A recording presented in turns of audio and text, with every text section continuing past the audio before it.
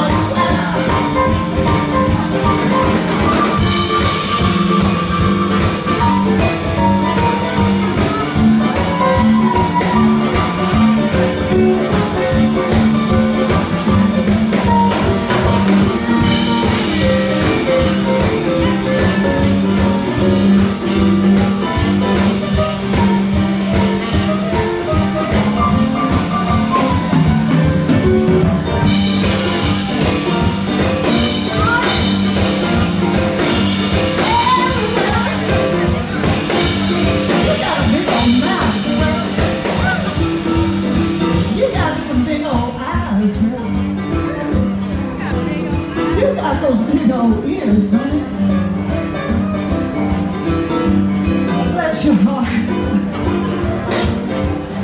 You got a pair of big old